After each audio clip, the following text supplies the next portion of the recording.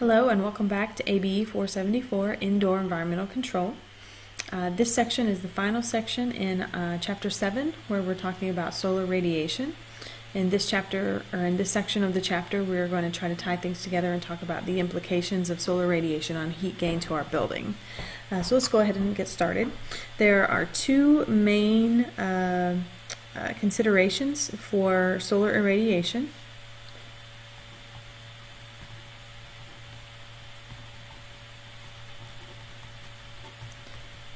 And we've already seen the example of uh, energy that gets transmitted through our building envelope. We covered that in uh, chapter 5, so I'm not going to cover it again here. I'm just going to refer you back to chapter 5 uh, for that portion.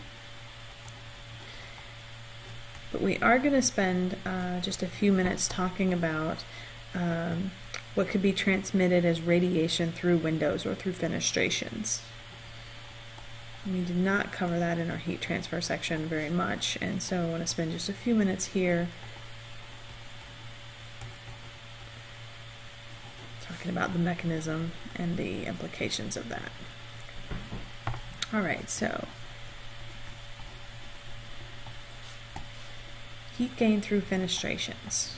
So reminding ourselves a fenestration is um, typically a window but it's any material that can allow um, uh, radiant energy to pass through it um, or light to pass through it. So that's one sort of one test for is something a fenestration. So things that can be uh, considered fenestrations, so we can say glazings, uh, which could be made of glass or plastic, and this is typically the, the clear portion of a window. So a glazing is what we call that. And the material is not uh, what's important. The importance is the ability to transmit uh, radiation through it. Uh, you might also, well, in order to have that glazing, you have framing, which isn't going to allow any radiation to pass through, but it's a central piece of it. Shading, which can be internal or external, and the purpose of it isn't to transmit, but to block the transmission. It certainly can have an impact on uh, the transmission through. Um, integral, so you can have things between the glass, which could be a shade or something that serves the same purpose as a shade. Um, certainly, the transmission uh, through the um, fenestration has the potential to impact energy use, which is why the main reason why we're talking about it. Um, and so certainly has an impact on the heat transfer rates in and out of the building. And so it needs to go in those um, heating or cooling load calculations.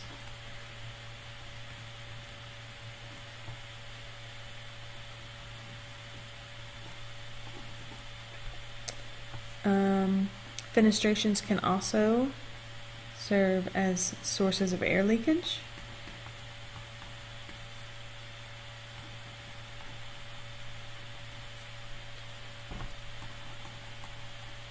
And on a positive note can serve as, and you know, air leakage might be a positive note as well, uh, sources of daylight, and thus less need for artificial light. So I'll only, um, well, two of the three uh, are directly related to sizing and operating our heating and cooling equipment. This third one could be as well, uh, depending on the type of lights and the number of lights that are needed um, but certainly uh, your lighting can become a heating or cooling load.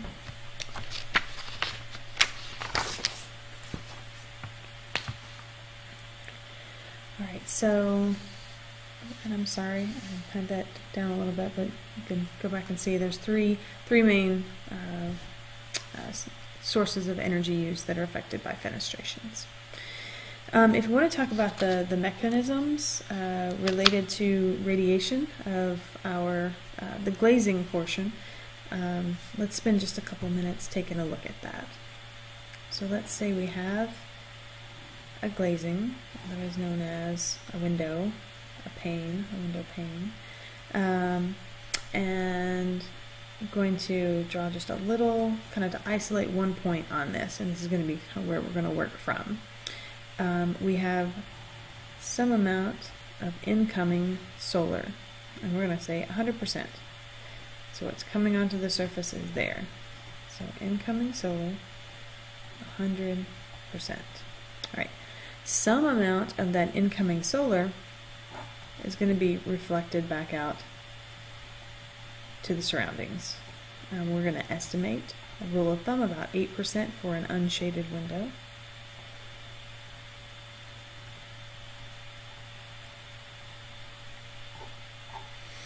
And some amount is going to be absorbed. And of the absorbed amount, some amount is going to be radiated outward, so back out into the environment from which it came, 8%. Some amount is going to get radiated inward.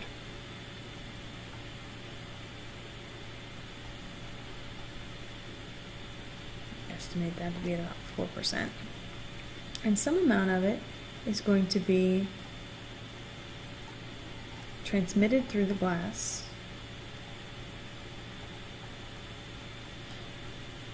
and we're going to estimate that at about 80%. Um, the portion that's transmitted as well as what's radiated inward become a part of the cooling load.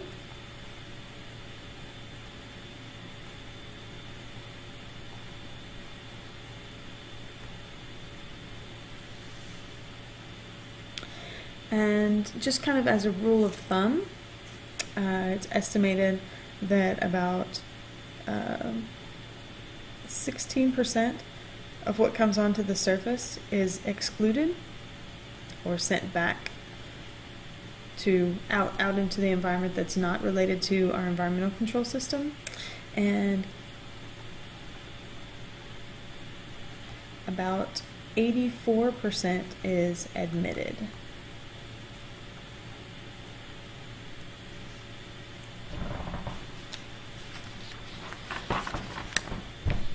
There are several um, simplified ways of calculating some of our heat gains. Uh, and some of these are models. I'm going to just briefly talk a little bit about the, the ones that are discussed in your book, um, but just, just enough to introduce them. Um, so if we want to talk about total heat gain into our structure, you have solar heat gain plus conduction heat gain. And this is what's coming through the building envelope. And um, so solar heat gain, solar heat, so we can abbreviate this and call it the sum of the transmitted plus radiated inward.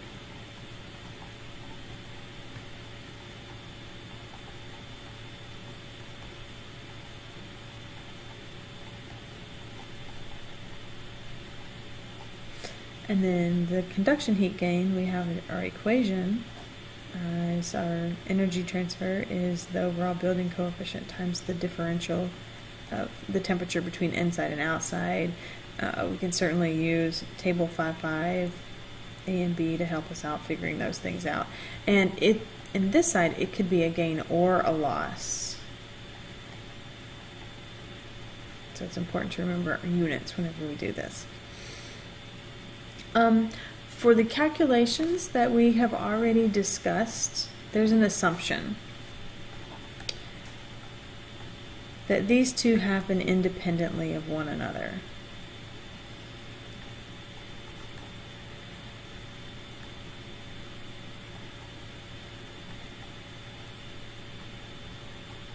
That's not exactly the case, and so we see errors whenever we um, make this assumption. So think, for example, about our heat transfer.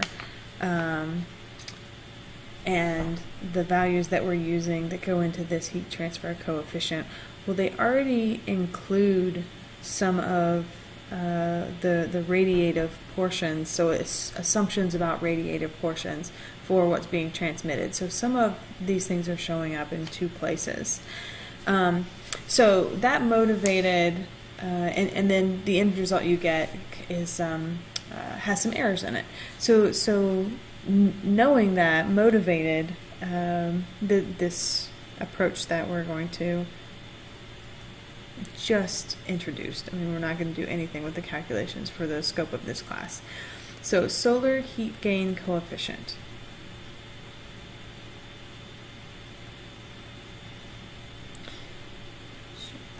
So this is um, a simplified method for calculating.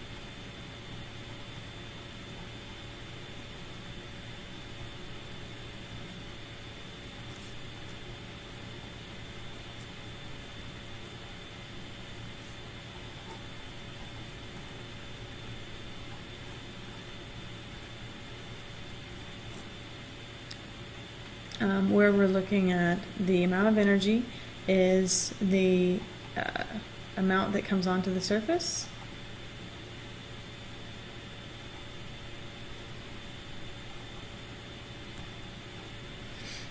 multiplied by uh, a coefficient that represents the portion that's translated to heat gain.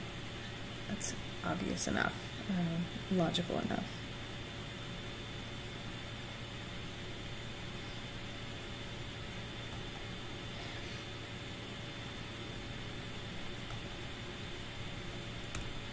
And there's a little bit more about this in your book, but we're not going to cover uh, using this method as a part of, of our class. Um, other things to consider if we had some external shading, we could block some of the solar irradiation. We could um, uh, do that by using things like awnings, uh, which are kind of shelters that come over the edge of windows. Um, specific shades um, on the outside or inside the windows placement of trees outside uh, the building. Uh, we can also recess the windows. So without having an additional structure, just the placement of the windows as opposed to on the very outside of the building versus recessed into the wall cavity a little bit to provide a little bit of shading. Um, the remaining sections in your book are covering the methods for calculating this uh, solar heat gain coefficient under different scenarios. And like I said, that's beyond the scope of this course, so we're not going to, to cover that in our lectures, but feel free to uh, explore some on your own in the book. And with that, we are going to wrap up chapter 7 uh, on solar radiation. And at this point, you should be able to uh, consider uh, the Earth Sun relationship, understand how to calculate the various forms of time, um, be able to uh, understand solar angles and how to describe the um, uh, the path of the sun's rays to the Earth's surface to this to the specific location you're interested in on the Earth's surface, and then how to subsequently calculate the amount of energy, the amount of solar energy that's coming onto that surface, and the and then extend that into um, calculations for heat gain inside your structure. So um, this concludes chapter 7. Uh, thank you very much.